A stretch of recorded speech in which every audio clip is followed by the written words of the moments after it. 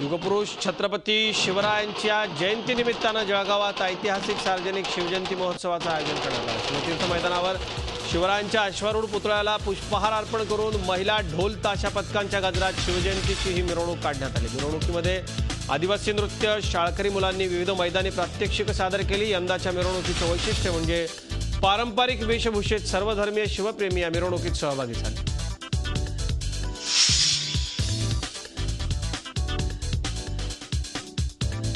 बुलढाणा जिल्ह्यामधल्या चिखलीत शिवजयंती उत्सव मोठ्या उत्साहात साजरा करण्यात आला.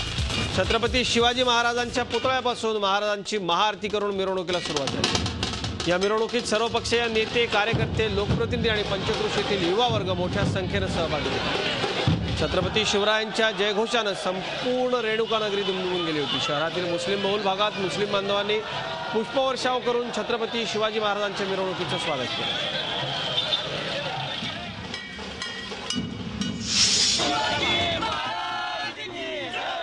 तर धुळ्यातही शिवजयंती उत्साहात साजरी करण्यात आली. संपूर्ण जिल्ह्यात शिवजयंतीचा उत्सव दिसला. गावागावात शिवाजी महाराजांच्या पुतळ्याला अभिवादन करण्यात आलं. शहरातच नाही तर ग्रामीण भागातही शिवजयंतीचा मोठा उत्साह दिसून आला. मोटरसायकल रॅली यावेळी काढण्यात आली. पोलिसांना अंदाज न आल्यानं शहरात काही ठिकाणी वाहतूक कोंडी झाली होती.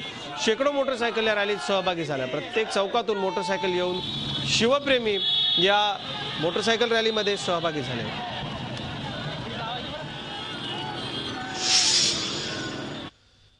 तर चंद्रपूरमध्ये देखील शिवजयंती आगळी वेगळी ठरली. प्रहार संघटनेच्या कार्यकर्त्यांनी जिल्हा सामान्य रुग्णालयात स्वच्छता मोहीम राबवली. छत्रपतींनी सर्वसामान्य माणसासाठी झटा असा संदेश आपल्या कृतीतून सदैव दिला.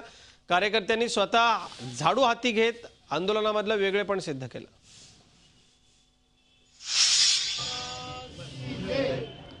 तर कोल्हापुरातही शिवजन्म सोहळा विविध उपक्रमांनी साजरा करण्यात आला. बुधवार पेठेतील नर्सरी बागेत शिवाजी महाराजांचे वंशज छत्रपती शाहू महाराजांच्या हस्ते शिवजन्म साजरा करण्यात आला. या कार्यक्रमाला शिवभक्तांनी मोठी गर्दी केली होती. यावेळी ढोलताशांच्या गजरात छत्रपती शिवाजी महाराजांच्या प्रतिमेची मिरवणूक काढण्यात आली.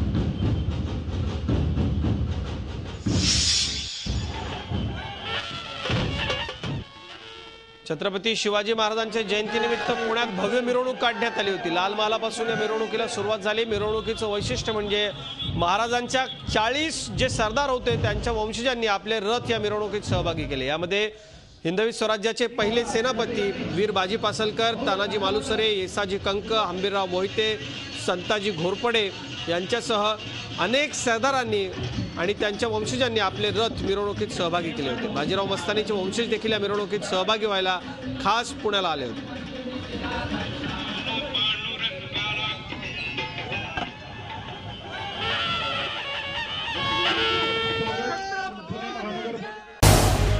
झी चोवीस तास. रहा एक पाऊल पुढे.